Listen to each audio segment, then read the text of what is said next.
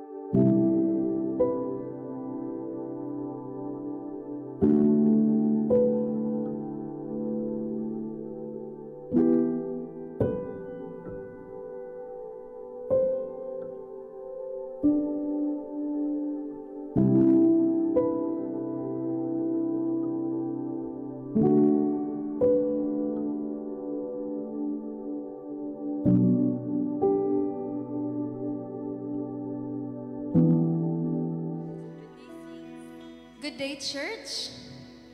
As we observe the regulations set forth by our local, local government during this time out weekend, we hope that all of you are safe in the comfort of your homes. But we still thank the Lord because of technology. We know that, and also that we know that the church isn't limited to the four corners of this sanctuary, but wherever His people can gather together. He has taken the church to the very foundational institution, which is the family. And we are very grateful for that. So today, as we start this online service, I hope that all of you are seated comfortably in your homes together with your families. And I challenge every single one of you watching today to participate as we give praise to God through the singing of songs. Sing along with us, clap your hands, lift them high. Let's use our bodies to express our gratitude towards our living God. Amen. And later on in the service, please prepare your Bibles and your hearts as we receive words of revelation to be delivered by our pastor. If you have your Bibles with you, kindly open them to Psalm 27, verses 1 to 6. And reading from the NASB, it says, The Lord is my light and my salvation. Whom shall I fear? The Lord is the defense of my life. Whom shall I dread? When evildoers came upon me to devour my flesh, my adversaries and my enemies, they stumbled and fell. Though a host encamp against me, my heart will not fear. Though war arise against me, in spite of this, I shall be confident. One thing I have asked from the Lord that I shall seek, that I may dwell in the house of the Lord all the days of my life, to behold the beauty of the Lord and to meditate in his temple. For in the day of trouble he will conceal me in his tabernacle. In the secret place of his tent he will hide me. He will lift me up on a rock, and now my head will be lifted up above my enemies around me and I will offer in his tent sacrifices with shouts of joy. I will sing, yes, I will sing praises to the Lord. Today we look unto our God who is able to deliver, to restore, and to be the firm foundation of our lives. Even if the world is in chaos, we can still be confident in the goodness of our God. Today we will seek nothing else but His presence, and we will offer the best of our praises no matter where we are physically today. As what we have always said and believed in, nothing can ever hinder us or stop us from giving praise to our God because we know that He deserves it. So, together in your homes, join us and let us lift up the most beautiful name, the most powerful name, and that is the most precious name, Jesus Christ. There is no other name that is above His name. And we believe that His name is worthy to be lifted up, worthy to be glorified, worthy to be exalted above every circumstance, above every trial, above every blessing. His name is worthy to be lifted up, that He alone deserves our highest praise. He alone deserves all the glory, all the adoration that we could ever give. Even in our lack, even in our need, we will continue to give praise to our God because He has been good. He has been faithful to us.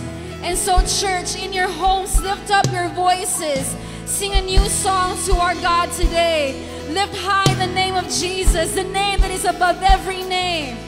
Oh God, we exalt you today. We give you glory for who you are in our lives, God, and for what you have done. You have been faithful. You have been true. You have been awesome and mighty to save. You have been our deliverer, oh God. And today our hearts are filled with so much thanks, so much gratitude, Lord, towards everything that you have done for us, oh God. So would you fill up our homes, fill up, Lord God, our places today. Let it be filled with praise. Let it be filled with your presence because it is you that we see. It is you that we long for today, oh God.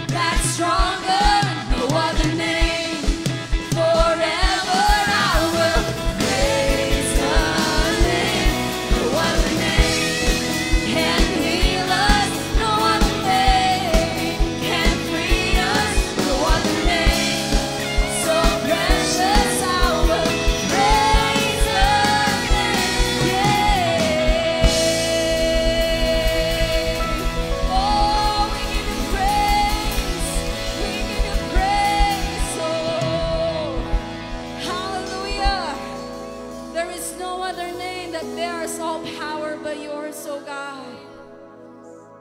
Today, Lord God, we are so grateful to have known this beautiful name. Oh God, we give you praise. With the best of our abilities, Lord God, we give you praise today. We are so thankful, Lord. Thankful for sustaining us, for providing for us, oh God, and for everything that you have done. It is just but right, oh God, that we give you back all the glory, all the honor, the thanksgiving that is due your name. And today, Lord God, we proclaim that your presence is overflowing in our homes right this very moment, oh God.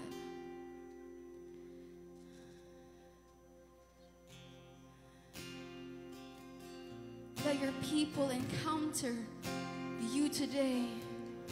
Oh, hallelujah, Jesus.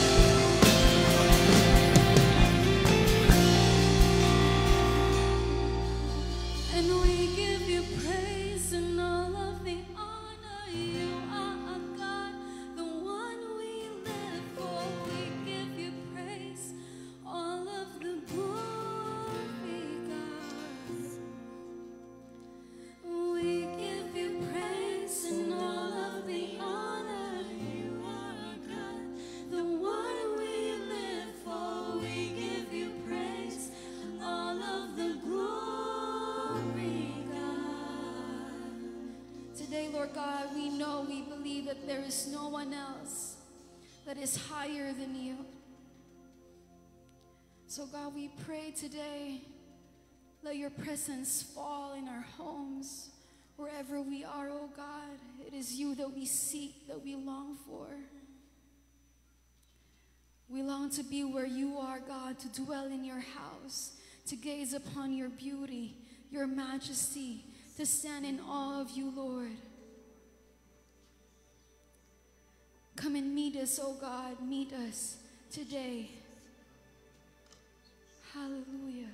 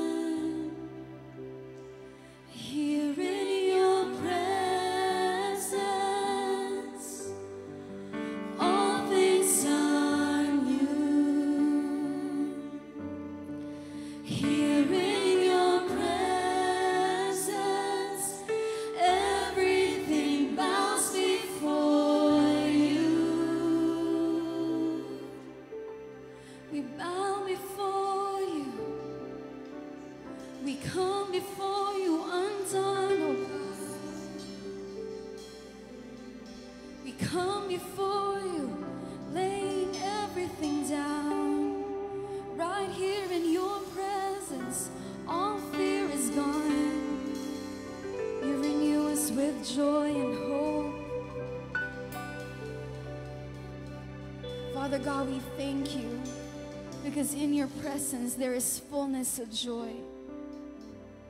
In your presence, your love overflows, your grace abounds. Right here, this very moment, in your presence, it is all that we seek. And we choose to dwell in your presence the rest of our lives, oh God. Father, would you open up our hearts today? Let your love, let your goodness overflow today, Father. Would you open up our minds? Let our hearts be fertile ground, Lord, to receive a word of revelation from you. God, let your word allow us to transform and change our lives. Give us a new perspective in life. Because right now, this very moment when the world is in chaos, it is you alone that is the rock of our salvation, our firm foundation, the faith, Lord God, our hope. We all put it on you, Jesus. So, Lord, we thank you today for bringing your presence to our homes. Wherever we are, we thank you, oh God. We give you back all the glory, all the honor, the adoration that you alone deserve. And all your people will say a mighty amen and amen. Hallelujah. We give you praise, Lord. Good day, church. I hope you're all okay in this time of uh, pandemic, especially right now that we have our timeout weekend. Um, we're just in our homes, and so we have this online service. So I'll get straight to the word, okay? Um, today we will be talking about Second Corinthians chapter 4 verses 7 to 10. And the title of our message is When the Going Gets Tough. Let's read in Second Corinthians chapter 4 verses 7 to 10. But we have this treasure in earthen vessels, that the excellence of the power of God may be of God and not of us. We are hard pressed on every side, yet not crushed. We are perplexed, but not in despair, persecuted, but not forsaken, struck down, but not destroyed, always carrying about in the body the dying of the Lord Jesus, that the life of Jesus also may be manifested in our body. Let us pray. Heavenly Father, we thank you for today and this opportunity to hear your word even in this time out week. And we pray that you would speak to each and every one of us. Let there be a revelation that will be received today. May you cover your messenger today, O Lord, with your most precious blood, that as he speaks, may your words be spoken and not his. May you speak to all of us today. In Jesus' name we pray. Amen. Earthen vessels or clay were containers created by skilled potters who took raw clay and shaped and molded it as they desired, and then baked the clay until it was hard. They then painted, glazed, or decorated the jars for whatever purpose they had in mind. In ancient times, sacred scrolls or valuable documents were rolled up and placed inside a jar, of clay and then hidden for safekeeping. Something as valuable as the Dead Sea Scrolls were kept in such jars of clay. Pottery jars could be beautiful or purely functional, but they had one thing in common, for sure. All of them are breakable. Contents could not be forever housed in the jars of clay. Clay jars were just temporary holding places. Paul wrote 2 Corinthians at a very vulnerable time in his life he had learned that the church at Corinth was struggling and he sought to take action to preserve the unity of the local body of believers. The central theme of 2 Corinthians is the relationship between suffering and the power of the Spirit in Paul's apostolic life, ministry, and message. Paul's opponents had questioned his motives and his personal courage. They argued that he had suffered too much to be a spirit filled apostle of the risen Christ. But Paul argues that his suffering is the means God uses to reveal his glory. That can be found in chapter 1, verses 3 to 4, verse 11 and 20 in 2 Corinthians. The Corinthians were going through hard times as they were facing division in the church, false preachers and sins undealt with, yet Paul would encourage them by telling them that they have treasures in jars of clay. Paul would later hear how the Corinthians got better and turned away from their sin after reading this letter. But at the same time, or but at the time when hard times were pressing for them, to hear Paul calling them jars of clay might have hurt their pride. Being compared to something as breakable as jars of clay might not be what the Corinthians wanted to hear about themselves during hard times. And why did Paul have to tell them this? I'll give you an example. A small amount of water is added to an aluminum can or soda can and brought to boiling on a hot plate or with a Bunsen burner would uh, make a good experiment, right? The water gas molecules will occupy all the space inside the can since the air molecules will be pushed out. The hot gas molecules are the same pressure as the air outside of the can. And when the can is placed in cold water, upside down, the hot gas water molecules are cooled very rapidly. And because of this, some of the gas molecules are condensed back to liquid water, so there are less molecules of water in the gas phase inside the can, because they will be converted. The cold water will also cool any remaining gas molecules, decreasing their kinetic energy, so less movement inside the can, less pressure, and therefore this decreases the number of collisions within the walls of the can, hence decreasing the pressure inside the can. And since the air pressure outside the can is stronger than inside the can, it causes the can to collapse. But what if the pressure inside the can is stronger than the pressure outside of it? Would the can still collapse? No way. Instead, the can would remain intact through whatever pressure changes outside the can as long as what's inside the can is stronger than what's outside.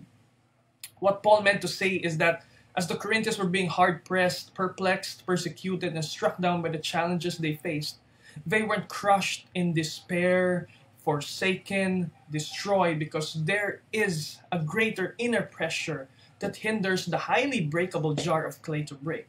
And that is the treasure in the earthen vessels. We are the earthen vessels, our temporary body and frailties that goes along in our humanity. The treasure is mentioned in the previous verse. God gave us the light of the knowledge of the glory of God in the face of Christ. That is in verse 6. And then this treasure can also be identified in verse 10. It says there, we always carry around in our body the death of Jesus, so that life of Jesus may also be revealed in our body. Knowing Christ and what He has done for us does not only give us salvation, but it gives us a hope like no other for this earthly life. In this time of pandemic, other problems arise in politics, in churches, in the community, in our businesses and jobs, in schools, and even in our own families. We seem to be hard pressed on every side, doubting, persecuted, and hit strike by strike and blow by blow. Yet we have to be reminded by God's word today that we have a treasure a treasure that makes us tough. We are still breakable, but with Christ as our treasure, we are unbreakable. And yet I say in Christ, and with Christ in us, we are tough. Come on, if you believe in that, say in the comment section, I am tough. Let us know that you're here. Say, I am tough. So, we'll be going through three points today. When the going gets tough, the question is how do the tough ones respond in times of hard pressing crisis like what we have today? First of all, when the going gets tough, the tough gets going. There's a popular saying which I think was first spoken by Joseph Kennedy, father of John F. Kennedy, which goes, When the going gets tough, the tough get going. Later, singer Billy Ocean in the early 1980s popularized it further when he put it into a song it ended up being becoming the theme song to a Michael Douglas movie called The Jewel of the Nile. A very familiar line, right? Um, when the going gets tough, the tough get going. There's some truth in that. Psalm 40 verse 2 says, He also brought me out of a horrible pit, out of the miry clay, and set my feet upon a rock and established my steps. He set my feet upon a rock and establish my steps. Somebody that is tough, somebody that gets going. So the Lord took us out of the miry clay before that happened. Now, in the psalm, the miry clay is symbolic of the troubles that surround us, and perhaps two of our own sins. Like Texas gumbo mud, they cling to us, weighing us down and hindering our free movement. They age us in the worst way, turning us from lightness and joy to sullen bitterness even out of the situation, the mud still clings, smearing itself on anything around that used to be clean, like in your shoes or in your pants. But the psalm doesn't stop with God drawing us out of the mire. He sets our feet on a rock and gives us a firm place to stand. Therefore, we can go on as God has rescued us. In these times, many people have settled into spending a lot of time with mobile games, with K drama, and many other activities to supposedly pass time, yet these things might have already gotten a hold of some of us. We should not only we should not allow these unimportant things to hinder our devotion towards God. Right? I say that with love.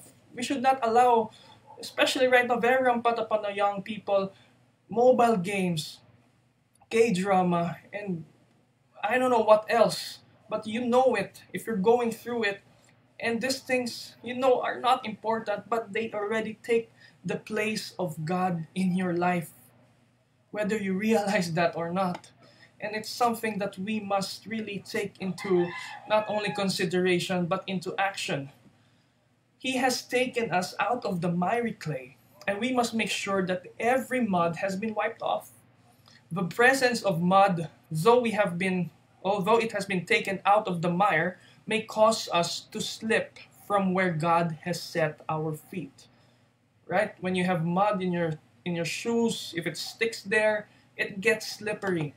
This will, you know, if we remove the the mud, this will help us as we get going in the race of God that God has set us in because you won't slip. So no matter what pressures this pandemic will bring us, the stronger force inside, the treasure, keeps us from being crushed. We will be hard pressed. Yes, we will be hard pressed on every side, but we will not be crushed because of the treasure inside of us. So we will go on. 1 Peter 4, verse 19 So then, those who suffer according to God's will should commit themselves to their faithful Creator and continue to do good. So that's the first the tough, uh, when the going gets tough, the tough gets going. Let's go to the second point. When the going gets tough, the tough gets on their knees. And I will be basing this one in Nehemiah chapter 1. In Nehemiah chapter 1, after 70 years of Jewish exile in Babylon, a third of the survivors of the captivity were led back to Jerusalem, while Nehemiah, the cupbearer of King Artaxerxes, remained in Persia. Even though he remained there, he was concerned about the Jews in Jerusalem and inquired of their state. In Nehemiah chapter 1, verses 3 to 4, it says there, And they said to me, The survivors who are left from the captivity in the province are there in great distress and reproach. The wall of Jerusalem is also broken down, and its gates are burned with fire. So it was when I heard these words that I sat down and wept and mourned for many days I was fasting and praying before the God of heaven. Nehemiah's people were in the midst of trouble after coming home to a ruined Jerusalem. They did not have the resources to start building, and worse, they did not have a leader. But they had Nehemiah. He might have been away from them at the time, yet he was able to weep and mourn, fast and pray for his people. His city was in ruins, and his people were in great distress yet he was able to lead them later on towards a rebuild in Jerusalem. And it started out by prayer. This is a great example of leadership. Nehemiah showed toughness in tough times by kneeling before the Lord in prayer. Leadership and character that we need to have in troubling times like this. Through the pandemic, some of us have been exposed for hypocrisy when before this pandemic we were able to say that we wanted to spend more time with God to read and to pray, but did not have enough time.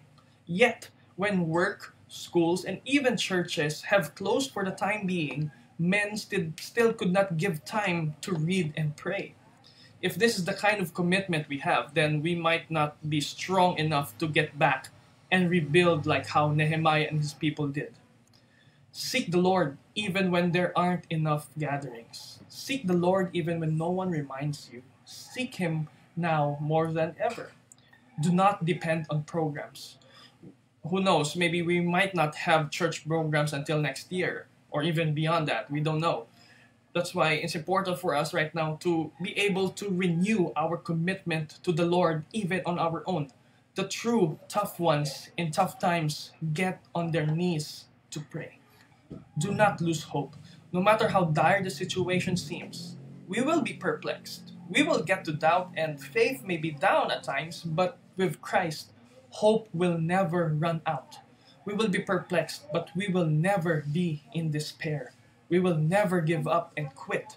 When we are down on our knees, our surrender is not unto our troubles, but unto the Lord. James chapter 5 verses 13 to 14 says, Is any of you in trouble?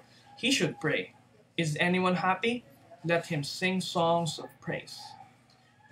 So, we're on to our third point, and that will be our last. So, just to quickly review, the tough, when the going gets tough, the tough gets going. Second, when the going gets tough, the tough gets on their knees to pray. And number three, when the going gets tough, the tough gets tougher.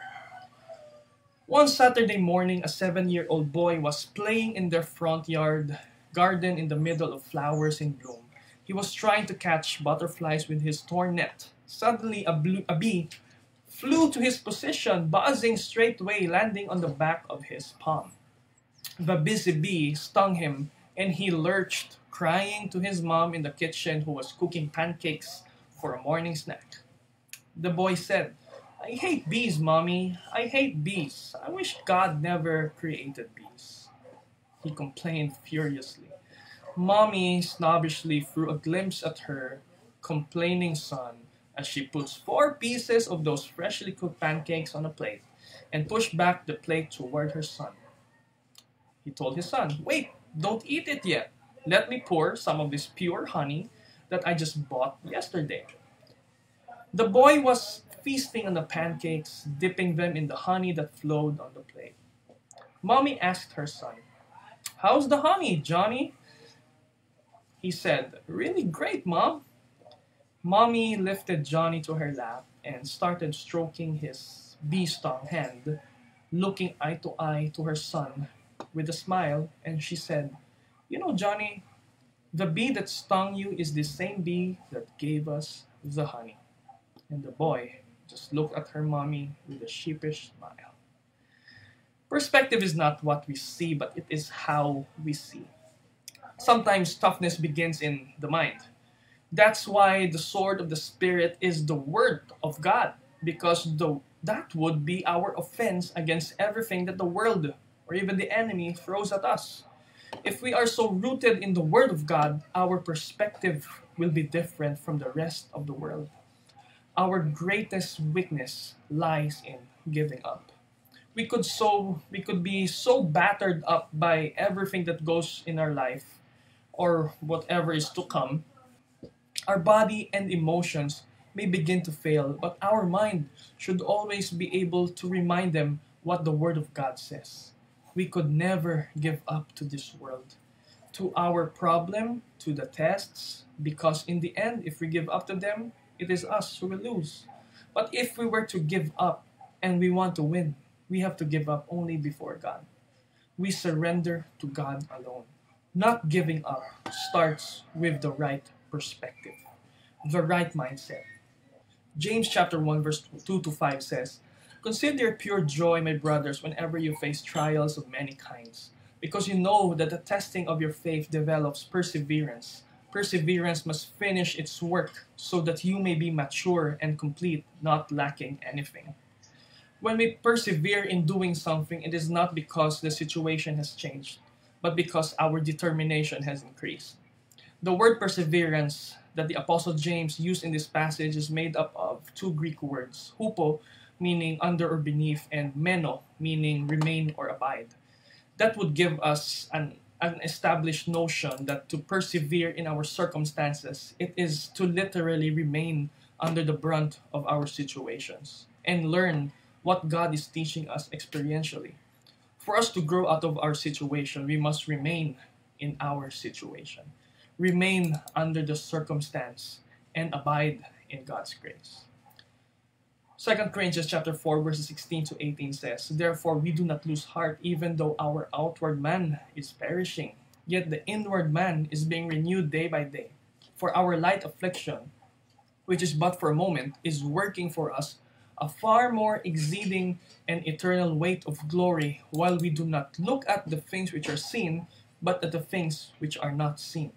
For the things which are seen are temporary, but the things which are, are not seen are eternal. Warren Wiersbe said, It is necessary to understand that God is not going to replace suffering with glory.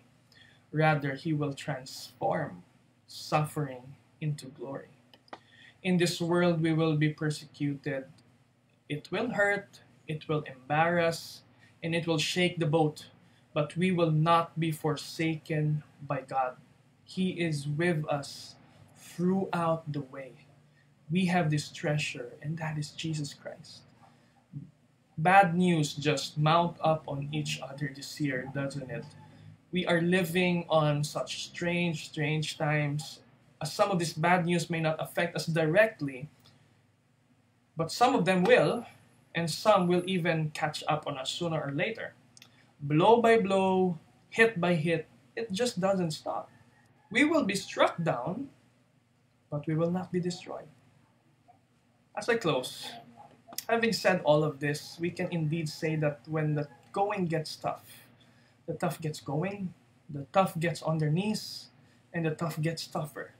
This is all part of the master plan of God, that we may give Him the glory whatever comes our way.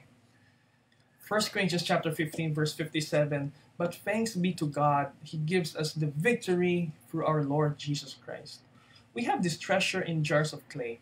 We may be breakable, but because of what's inside, one could care less of what's outside. Jesus is our treasure and he makes us tough throughout these times. The challenge is for all of us to ensure that we have this treasure. You might have drifted from the path God has set for you during this pandemic. Your commitment might have wavered, especially now that there are no gatherings. Now is the time to return to Him. Repent of what you have done and draw once more to Him. He awaits. Know that you are strong in Him.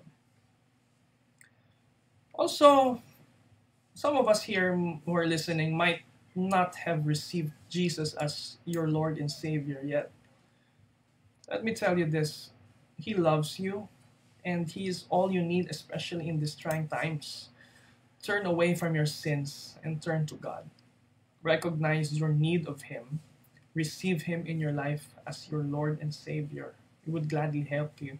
If you need our assistance when it comes to this, please don't hesitate to to message us and we will direct you to somebody who could really help you or one of our pastors or ministry heads would gladly help you out in receiving Christ as your Lord and Savior and helping you be discipled.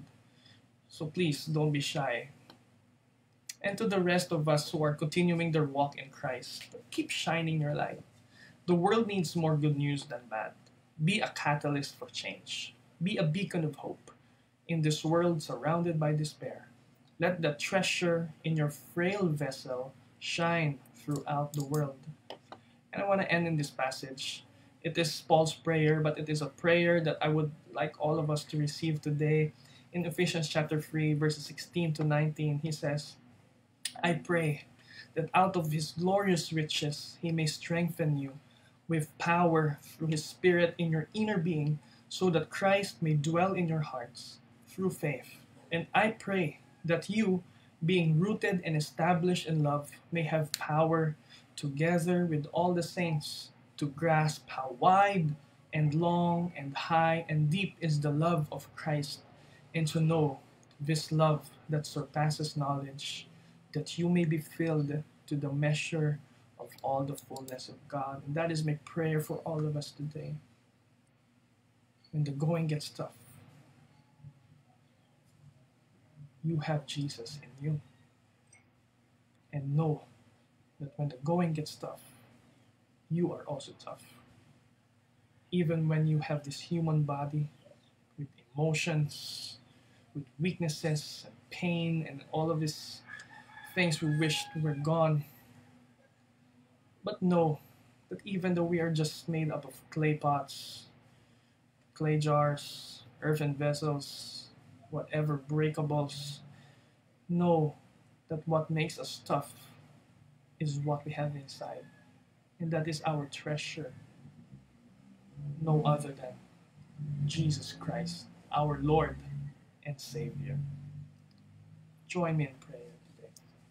Heavenly Father, we thank you for this word that you have delivered unto us today. We pray that you would let that hope be instilled in our hearts that indeed, even in these tough times, we know that there's going to be a bright tomorrow that you're preparing for us. We know that there is always hope in you, that no matter what the enemy throws at us, nothing could really take us down. Father, give us the strength to never give up. Give us the will to always trust in you, O Lord Give us, Lord, the faith that we may be able, Lord, to always believe, even though our tomorrow is as bleak as it can. Uh, watching the news and social media, we don't know what's going to happen tomorrow, but when we read the Bible, we know exactly what's going to happen tomorrow, and that is you will prevail. And so, Lord, we put our trust in you. That indeed, Lord, when the going gets tough, we will only be tough because we have you inside of us. So, God, we choose to honor you today, to worship you today, to please you today. May you be honored in our praise, in our adoration for you, God. We thank you. We give you glory. In Jesus' mighty name we pray. Amen.